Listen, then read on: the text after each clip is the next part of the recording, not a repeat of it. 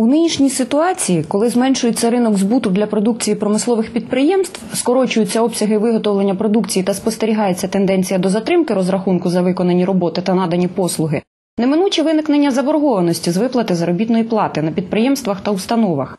Контроль за тим, щоб люди вчасно отримували зароблені гроші, взяла на себе райдержадміністрація. Постійна комісія, до якої входять представники пенсійного фонду, фонду соціального страхування, податкової та головний прокурор району, щомісяця збирається на засідання. Запрошують на них і очільників підприємств, що заборгували людям гроші.